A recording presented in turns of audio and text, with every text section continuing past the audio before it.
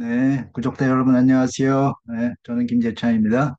오늘은 한국 현대음악 작곡계의 거목이신 백병동 교수님을 찾아뵙고 인터뷰를 진행하기로 했습니다. 저에게는 그 은사님이기도 하셔서 저에게서는 매우 기쁘고 영광스러운 자리라고 생각합니다. 네, 선생님 안녕하세요. 안녕하세요. 우선 이번 그 일신상이라고 하는 큰 상을 수상하신 걸 진심으로 축하드리고요. 그 상이 선생님께 어떤 의미가 있는지, 소회는 어떠신지 뭐 좀 여쭤봐도 될까요? 어, 상을 받는다는 것은 누구나 어, 즐거운 일이죠. 이번 상은 좀 어, 남다른 감회가 있습니다. 뭐냐면은 지금 이 시기에 상을 준다는 거.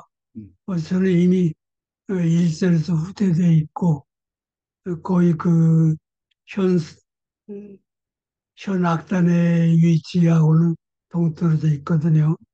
근데 상을 주셨다고 하는 것은 어쨌건 저를 예, 인정해 주셨다는 음. 그 고마움 때문에 의미가 있고 음. 그리고 또 한 가지 제가 감동한 것은 작품까지 연주하는 자리를 마련했다는 아이고, 거 네, 그건 정말 예, 의미가 있는 것이 아니었나 네, 네. 그래서 어, 정말 감동했습니다. 아, 네, 네. 그러셨군요. 네. 선생님의 그 저희가 이렇게 공식적으로 잘 모르는 네? 그런 뭐 철학이라고 할까, 인생을 살아온 어떤 그 방식이라고 할까, 이런 걸 좀 소개 좀 부탁드려도 될까요? 뭐 철학하면 너무나 거창하고요. 어, 저는 위인도 아니고 어, 소시민적인 작곡가에 불과한데 다만 이제 지금 생각하니까 옳게 살자는 생각, 그 생각은 쭉 관찰해봤던 것으로 생각합니다. 그래서 어, 우리에는 못 참는 성미가 있어가지고 음.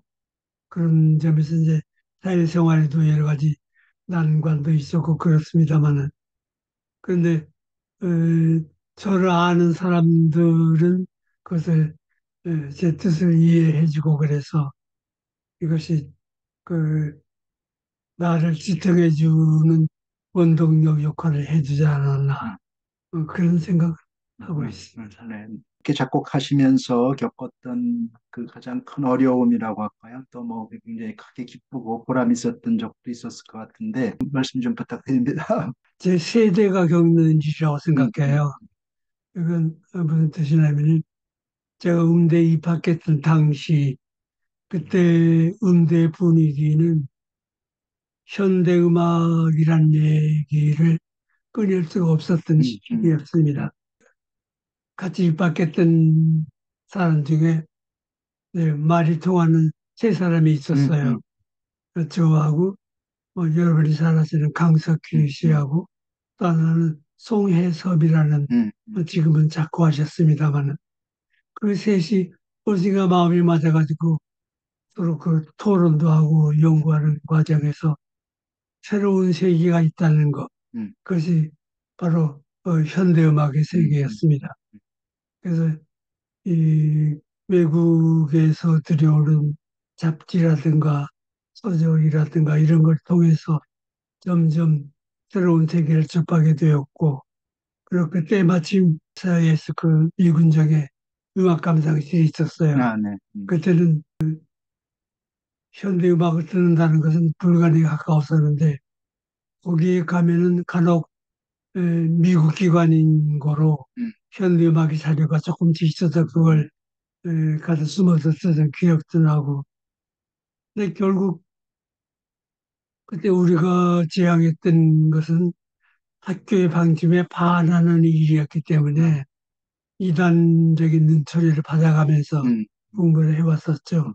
그래서 우리들끼리 어떤 에, 그룹도 만들어가지고 서로 에, 토론도 하고 연구도 하는 그런 게 있었습니다만 그것이 이제 저희가 군대를 졸업한 뒤에 우리가 이제 구체적으로 공부를 하기 시작한 것은 그런 그 현대막이라는 이론 서적을 구할 수가 있어가지고 그 그때는 뭐 저희뿐이 아니고 그때 그 젊은이들의 사이에서는 그 물결이 돌고 있었거든요. 음, 그러니까 그때는 뭐 어, 저희 학교뿐이 아니고 다른 학교와도 교류가 있었고 서로 그리고 그때 당시에 연세대 교수로 계시던 나운영 선생이라고 계십니다. 그분이 그때 당시에는 가장 어, 선진적인 생각을 가지신 분이었어요. 그래서 제가 나운영 선생님의 제자들을 찾아다니면서 이것저것 얻어듣는 것도 있었고, 그것도 이제 도움이 됐고, 그래서 서적으로 공부하는 것도 이해를 하고 있습니다만, 이론을 터득한 거하고 작품에 그걸 반영시키는 거하고는 차이가 있더군요. 그래서 그 과정이 그때 당시로는 꽤 어려운 작업이었다고 생각하는데, 그래서 현대음악으로 된 그 작품들을 에, 구해서 듣고 분석하고, 그러니까 제가 그 스트라빈스키의 봄의 제전 스코어를 본 것이 대학교 3학년 때 음, 처음이었습니다. 그러셨군요. 그때 그 미군 부대에 있는 그 에, 친구들을 통해 가지고 에, 부탁하게 해가지고 겨우 에, 그 스코어를 왔을 때 감격은 음, 음, 잊을 수가 없습니다. 아, 네. 그 이렇게 첫 번째 그 페이지를 열면 파고 솔로가 나오는데 높은 음자리표에 음자리표에 파고시 나와가지고 경악을 한 적이 있습니다. 어, 화옷이 낼수 없는 소리 음력인데 그때 상식으로서는 음. 그 시작이 그릇인데 그 뒤에 나오는 것은 음악은 어떨까? 음. 그것을 거의 졸업할 무렵에 USA에서 그 미국은 그 어, 감상실에서 처음 들었을 때 음. 그 영희는 음, 음. 정말 그 새로운 세계를 봐서 그 새로 눈이 뜬다고 할까요? 음. 그런 경험을 했더니 기억이 납니다. 음, 네. 그래요. 아까 그 이단이라는 표현을 하셨는데 그 당시에 도저히 하기 힘든 하기 힘든 그런 세계인데 그런 세계로 이렇게 선생님을 움직인 그런 동 동기라고 할까요? 그게 뭐라고 말씀을 해줄 수 있을까요? 음. 그 형님이 제일 교 보시거든요. 아, 네. 1960년에 네, 나온 네, 네, 겁니다. 네, 네, 네. 그때 당시에 이따가 좀 보여주시면 예, 네, 네, 네. 작곡집이군요. 네, 그러니까 그 여기 보면은 앞 아래는 앞에는 이제 에, 설명드리고 설명들이 다 뒤에 이게 전부 작품입니다. 아, 작품. 그 이걸 보고서 어, 일단 악보의 시각 그 뭐라 그럴까요? 시각에서 오는 그 느낌 음, 느낌. 그것이 어, 과거에 우리가 보던 악보와는 생파 다른 것이 정말, 있었던 것입니다. 네. 이걸 보고 우선 어, 이것이 나오기까지의 그 과정이라는 게 있을 것 같고 음, 그 이런 것도 뭐 그때 당시로도 상당히 그 네, 네, 새로운 네. 악보의 모습이었거든요. 네, 네. 그래서 이런 것이 이 하나의 그 자극제가 됐다고 할까요? 네, 네. 그래서 우리가 이래서는 안 되겠다. 우물안 개구리를 면하려면은 무엇인가를 찾아서 성과를 이루어야 되겠다. 음, 그런 생각으로 이제 작품 스타일을 바꾸기 시작했고, 예, 하나의 그 예, 효시가 됐다고 볼 그렇죠. 새로운. 시대를 열으셨죠, 네. 뭐 당시에. 자, 다음은 이어지는 질문인데요. 예, 평생 외기를 이 현대음악 작곡을 하는데 오셨는데 지금 이제 소회와 내가 아 이건 참 굉장히 잘했다라고 하시는 거 그리고 또 아 이거는 좀 아쉽다, 좀 후회가 된다라는 게 혹시 있으시면 소개 좀 부탁드립니다. 저는 어, 제가 해온 일에 대해서 후회는 안 합니다. 예, 후회해봤자 소용이 없고요. 네. 어, 경험했던 일들이 어, 오류도 물론 있겠죠. 옳은 일만 있- 있던 건 아니었었는데 어쨌든 제가 생각하는 것은 일단 제가 제 모든 것을 음악에 올인한다는 생각을 가지고 있었거든요.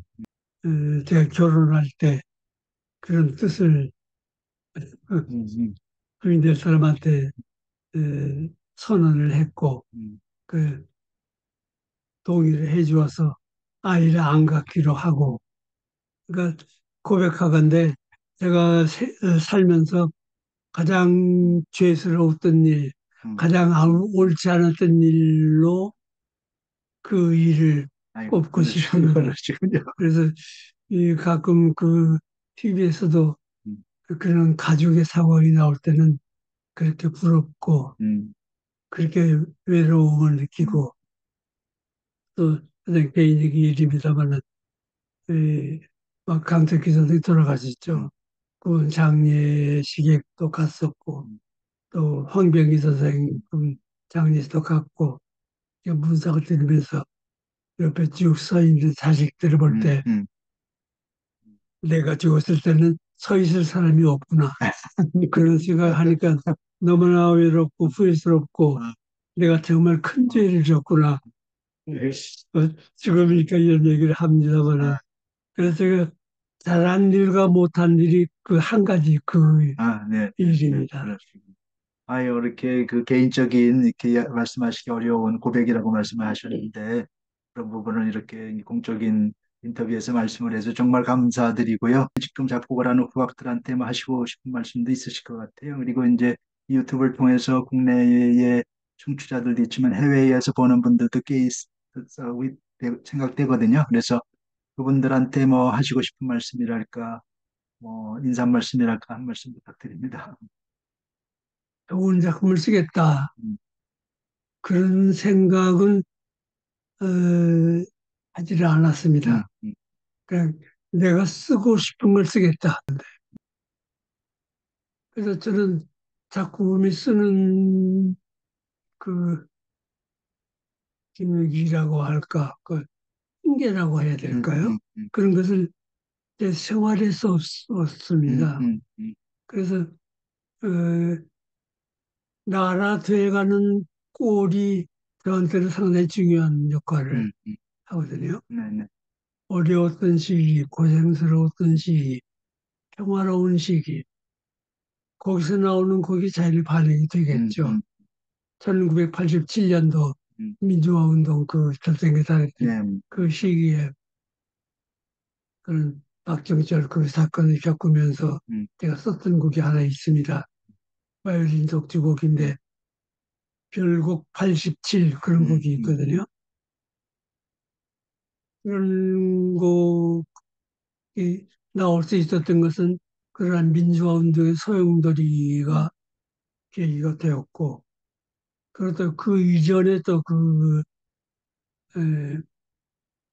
심상이라는 잡지가 있었는데 음. 거기에 김용태 시인이 쓴 대사더듬기라는 시간이 있었어요. 음, 음, 근데 그것이 그 세태를 반영하는 그런 시였거든요. 음, 그것을 어, 만들었던 것이 음, 하나의 음, 계기가 되었고. 음, 그래서 민주화 운동이 일어나고 해서 1987년 가을에는 조금 예, 새로운 민족으로 바뀌는 그 세- 시기에 하나의 희망적인 것을 보였거든요. 음, 근데 그때 관현악곡 9월이라는 것을 썼습니다.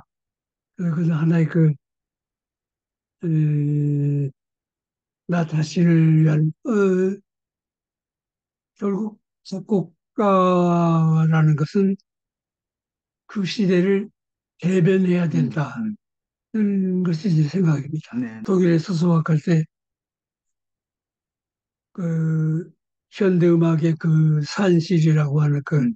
다름슈타트 다름슈타트. 그 네. 호거나 음. 또는 가우디아마스 컴피티션 거기서 보면은 어, 밤에 이제 입선된 작품들을 연주하고 음. 낮에는 그 작품 가지고 세미나를 하고 세미나. 그런 거 어, 있거든요. 그래서 밤에 연주할 때는 다 뭐 청중마다 다 작곡가의 병아리들이니까 네. 자기들대로 평가를 해. 어, 가우디아마스에서 연주하는 그 병같은 사람들을 평가를 음. 하고 그랬어요. 네. 이건 정말 현대 음악이지만 서장이 들어있고 음, 음, 충격을 주는 그런 감동을 줄 수 있는 요소가 있다. 음, 그리고 어떤 곡은 도무지 알 수 없는데 어떻게 만들었을까 궁금한 작품. 음, 그런데 그런 작품들이 어, 낮에 열리는 세미나에서는 수상을 받거든요. 아. 그래서 제가 그때 느낌은 뭐냐면 그런 분석에서 다루어지는 그런 좋은 작품들 음, 그리고 분석에서는 안 다루어지지만 마음에 충격을 주는 네네. 작품들 그렇게 나누어지는 것을 음, 어쩔 수 없이 음, 느꼈어요. 음, 그래서 내가 지향할 길은 뭐냐? 어떠한 기법으로 쓴다는 것은 그건 자꾸 그거 선택하게 달린 거라고 생각을 음, 했고, 그거보다는 거기에 내 음악을 어떻게 집어넣느냐, 음, 그런 것이 더 문제가 음, 음, 아니야. 네, 네. 당시에 이제 한국에서 많이 유행됐던 한국적이라는 단어, 음, 무엇이 한국적이냐. 난 그 말에 거부감이 생겨요. 아, 음, 이건 무슨 뜻이냐면은, 전통음악에 그 요소들이 노출이 되면은 아무리 잘 써도 전통음악을 못 따라가요. 네, 그렇죠. 전통음악에서 느끼는 감동, 음, 그것은 반드시 그 장단이래야 되고, 그런 편성이래야 되고, 그렇게 음, 되어 있는데, 그것을 섣불리 한국적이라고 와서 음, 채우고 나면은 음, 작사는 어디로 가버려요. 네, 네, 맞아요. 어, 그래서 어설퍼지고, 제가 생각하는 한국적이란 말은 각자 작곡자의 양심에 따라서 한국 음악에 대한 요소를 소화시키고 음, 음, 농축된 상태에서 내가 생각하는 내가 하고 싶은 얘기를 하면은 음, 그게 자연히 그 스며들지 않나 음, 음, 하는 생각을 하고 있었거든요. 네, 그래서 그것이 하나의 그 계기가 돼가지고 이건 현대음악의 맹점이 서적을 잃어버리는 음, 데 있다는 음, 생각을 해가지고 어떻게 서정성을 구현하느냐 음, 하는 것이 이제 제 음, 네, 과제의. 음, 하나였었죠. 음, 음, 그래서 그런 제 경험을 비추어 봐서 에, 작가들에게 당부하고 싶은 것은 음, 당신의 세계를 찾으시오. 음, 음, 음. 그리고 그것을 위해서는 기법은 상관하지 마시오. 공유하지 마시오. 그러니까 그 이렇게 생각하는 분들이 많아요. 분석해서 좋은 결과가 나오는 곡, 그러니까 분석적으로 이렇게 에, 좀 똑똑 떨어지는 구조적이고 그 구조적이고 논리적이고. 논리적이고 완벽하고. 에, 그리고 도무지 험잡을 데가 없는 없고. 소리 하나까지 다 가려내서 쪽집게를 집어내듯이 분석하는. 사실 거기에서는 감동받을 수가 없어. 음, 그 분석하기 어렵고 분석 잘 안 되지만 소리에 그 넋이 들어가 있는 음, 음. 곡이 있거든요. 네, 저 그렇죠. 그런 걸 들으면은 뭔가 느낌이 오고 음, 음, 그런 경험을 하게 되는데 네, 그 연주자에게 그 작품을 부탁할 때도 음, 저는 이제 되도록이면은 간섭을 안 해요. 네, 간섭 안 하고 연주가들 당신이 작가를 음악을 좀 만들어 주시오 음, 음, 그러거든요. 그 왜 그러냐면은 다른 쇼팽을 들을 때 연주가에 따라서 느낌이 전혀 다른 네, 음악이 나오거든요. 그 음악에 분석해서 얻어지는 것이 아닌 음, 다른 요소. 음, 저는 그게 음악의 실체라고 생각해. 네, 네, 그냥 음악을 들을 때, 막 음악은 모르는 곡이라도 네, 알잖아요. 네, 보살의 음악 알거든요. 음, 베토벤 음악도 알거든요. 말로 듣게 알거든요. 음, 그런, 그런 원동력이 어딘지냐. 음, 그게 음악의 실체라고 네, 음악의. 생각하거든요. 그래서 음악의 실체가 있는 음악을 만드시오. 아, 음악의 실제가 있는 음악 그래서 뜻이. 연주가가 제를 자꾸 연주할 때 음, 아주 이찬 음악 작가들은 어렵게 쓰기를 네, 좋아해요. 네, 어렵게 써가지고 연주가 골탕을 먹여야 직성이 풀리거든요. 네, 그래서 연주가 하여튼 어, 기초적으로만 극복하면 그걸로 끝나요. 네, 거기까지는 음악이 아니에요. 네, 거기서부터가 음악을 만들어야 되거든요. 그러니까 연주가들은 이교의 극복 때문에 음악이 들어갈 틈이 네. 없어요. 그러니까 어떤 악기가 있는데 그 악기를 두들겨 보시는 소리를 내게 하는 거하고 그 악기를 가장 아름다운 소리를 내게 하는 거하고 어느 쪽이 음악적으로 필요한 것이냐고 생각하면 음. 답은 명확하게 네. 나오죠. 그, 그 작곡가들이 물론 이제 어, 이런 음악도 필요하고 저런 음악도 필요하죠. 음, 음. 저는 음악의 그 본류는 음, 본류는. 음악의 정신을 잃지 않는 음. 그거라고 생각을 음, 음, 하고 음. 있거든요. 아, 네. 그래서 뭐 젊은 작곡가들에게 부탁하고 싶은 것은 지금 21세기를 살고 있는 분들이니까 음. 그래서 젊은 작곡가들한테 그 말씀을 제가 얘기하거든요. 음. 21세기 작곡가들이요. 21세기 나온 곡을 만들어라. 만들어라. 네. 그게 뭔가를 찾아라. 네, 네. 그렇게 부탁을 하는데 사실 어려운 일이 죠. 쉽겠어요. 아주 뭐, 그 네. 중요한 말, 핵심적인 네. 말씀을 해주신다고 네. 생각이 됩니다. 그럼 이제 21세기라는 말씀이 나오셨는데, 다음 이어지는 질문이 요새 뭐 인공지능이 챗GPT 네. 써보셨는지 모르겠는데, 그 언어형, 그 인간이 질문하면 뭐 이렇게 촉촉촉 대답하고 음. 그러는 그거 이 인공지능이 발달될 뿐만 아니라 AGI가 지금 개발이 된다거든요. AGI, 네. Artificial General Intelligence가 네. 사람이 뭐, 일, 그 일부러 시키지 않아도 지가 알아서 스, 스스로 척척척척 공부하고 판단하고 뭔가 뭐 하나 해라 그러면 척척척 알아서 하는 그게 곧, 곧 개발이 된다고 그러고 이미 그 초기 형태가 그 발표가 됐다는 얘기도 들리고 그래서 내년도가 특이점이 될 수가 있다. 코주와일이 2045년이 특이점인데 특이점은 이제 인공지능이 전 인류의 지능보다도 훨씬 더 넘어서는 음? 좋아지는 시점이 2045년이라고 그랬는데 그게 20년이나 앞당겨서 2024, 25년이 될지 모른다는 얘기들을 많이 하거든요.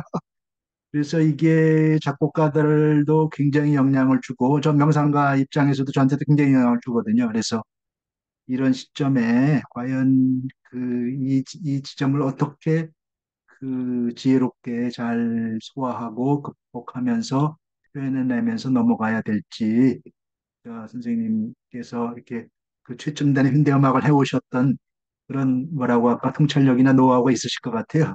그거 좀 말씀 좀 부탁드립니다. 소식을 들으면서 어, 공포감을 느끼거든요. 음, 그 앞으로는 작곡가가 작곡가가 필요 없게 되겠구나 음, 음, 하는 생각이 들고 그뭐 음악 분야가 아니고 다른 분야 사회 모든 분야에 지금 사람이 하는 일을 전부 AI가 하고 있지 않습니까? 음, 지구 종말에 가까운 그런 사건이 아닐까 음, 그 정도로도 저는 생각이 들어요. 음. 제가 늙기를 잘했구나. 아이고, 그거 제가 많이 젊어서는 이걸 다 어, 적응을 해야 되면서 살아야 되는데 정말 어, 너를 걸 적응 안 해도 되니까 차라리 다행이다.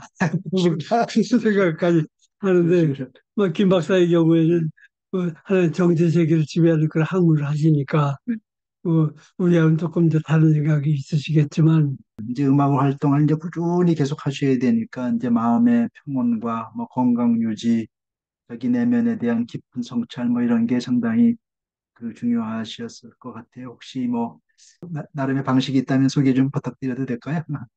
저의 그 세계에서는 지금이 제일 평화로운 세- 시대예요. 네네. 근데 제가 금년에 이제 어, 곡을 하나 쓰긴 썼거든요. 아, 네. 네, 그 그것이 아마 마지막 곡이 되지 않을까 싶어요. 음. 왜냐하면 뭐 눈의 장애 때문에 어, 눈 초점이 안 맞아가지고 우선은 못 보는데 네. 그 제가 어, 소위 노인이라는 타이틀이 붙은 뒤에 만든 곡들이 다른 사람들이 그러더군요. 음. 곡이 쉬워졌다. 쉬우셨다. 음, 듣기 좋더라. 듣기 좋더라. 그, 그런 이유가 어, 평화로운 시대이기 때문에 쉬워진 걸로 생각하거든요. 음. 제가 어, 고민이 많던 시대에는 오히려 곡이 나오는 그 어, 핑계가 되고 음. 그것이 하나를 써도 많이 생각하게 하는 그런 것을 쓰는데 네. 지금은 생각하고 쓰는 체력이 안 되니까 네. 쉽게 쓰거든요. 나오면 그러시군요. 쓰고 싶은 대로. 네. 그러니까 곡은 씌워지지만 네. 좀 밀도가 없는 곡이 나오는 것 같기도 하고. 네. 네. 그 네. 저는 그냥 뭐 어, 지금은 내 마음을 다스리고 네. 어, 이 생명 다할 때까지 네. 어, 네, 음악 애호가 연노라고 네. 네. 생각을 하고 아, 있습니다. 네, 네. 현대 음악 작곡을 하면서 이렇게 딱 막히거나 뭐 어려움을 겪거나 그런 때가 많았을 것 같아요. 그런 때는 어떻게 그거를 그 잘 극복하셨다는 표현이 어떨까 모르겠는데 그걸 잘 넘어가셨는지 이것 좀 부탁드립니다. 뭐잘안 되면 위선 담배부터 피웠고 아, 네. 그 다음에는 영화를 봤어요. 아, 네. 그 영화를 보고 나면은 새로운 세계를 들어갔다. 나왔으니까 조금 군더덕지가 없어지고 그랬거든요. 음, 그래서 제가 어, 뭐 소위 그뭐 어, 영화 과학이라는 소리도 음, 들었습니다만은 음, 각자 아마 그 작곡가마다 그런 그 음, 음. 어, 노하우가 있을 거예요. 네. 어, 저는 이제 그런 식이었지만은 또 다른 분도 또 다른 방법이 있을 거고 각자 나름대로 방법을 찾으면 방법이 나오겠죠. 네. 개인적으로 가장 영향을 받은, 많이 받은 작곡가랄까, 예술가랄까, 뭐, 위인이랄까, 이런 분들 있으면 좀 소개 좀 부탁드리고. 무릎을 치는 음, 그런 경험을 한 것이 몇 번 있는데 음, 음, 첫 번째로는 마하의 평균율 그 음, 2번에 나오는 음, 그 화음 구조를 쭉 적어놓은 음, 저 음, 보니까 음. 그 안에 화성하게 들어있는 모든 이론이 다. 들어가 아, 있더라고요. 네, 다 들었어요. 그 그거 보고 우선 놀랐고 음, 그 다음에는 베토벤 피아노 소나타의 발터슈타인 음, 음, 화음 가지고 주제가 될 수 있다는 음, 음, 음, 그런 거에 놀랐고 음.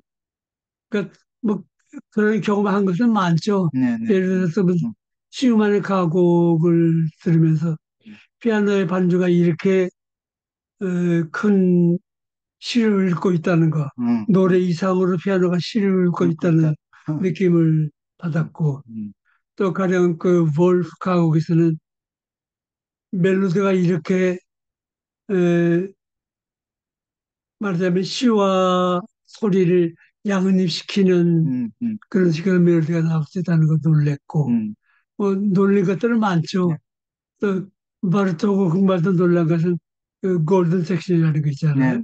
그딱 드럼 앞에 쓴다는 거에 또 놀랐고 뭐 베베는 이렇게 조직적으로 조직화된 거에 놀랐고 놀랄 경우가 네. 많습니다.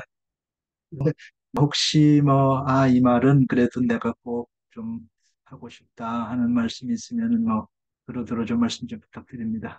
한마디죠 뭐 음악을 사랑해 주십시오. 음악을 사랑해 네. 주십시오. 저는 지금도 음악의 효과를 자처하고 있거든요. 네, 근데 음악의 효과적인 것이 없으면 작품을 순수하게 못해. 네, 네, 어, 그런 점을 뭐 아무리 그 전위 음악을 하더라도 일단 음악의 효과에서 출발을 하십시오. 네, 그렇게 충고를 드리고 네, 네, 싶습니다. 네, 네, 그렇습니다. 그 이어지는 질문이 그 음악의 효과라고 이렇게 말씀을 하셨는데, 우리 음악이 인간들한테 주는 가장 그, 그 소중한 가치라고 할까요? 음악의 가치라고 할까요? 이게 뭐라고 생각하시는지. 네, 음, 아이고, 그 어려운 질문인데. 네, 그, 뭐 저는 그렇게 생각해요. 음, 음악은 인간의 감정을 지배하고 있다. 네, 그러니까 어, 슬플 때 음악으로 치유할 수 있고 음, 기쁠 때도 음악으로 치유할 수 있고 음, 그렇기 음, 때문에 결국 음악에 의존할 수밖에 음. 없다라는 생각을 하고 있습니다. 네, 네. 네, 오늘 뭐 이렇게 그 긴 시간을 응? 그 소- 소회를 전부 다, 다 솔직하게 다 이렇게 있는 얘기들 다 해주시고 그러셔서 참으로 감사드리고요. 옆에서 굉장히 행복하고 참 응? 그 이런 표현이 어떨지 모르겠는데 은혜 받는 그런 시간이었습니다. 네, 네, 선생님. 감사합니다. 네, 여기서 마치겠습니다. 네, 감사합니다. 수고하셨어요.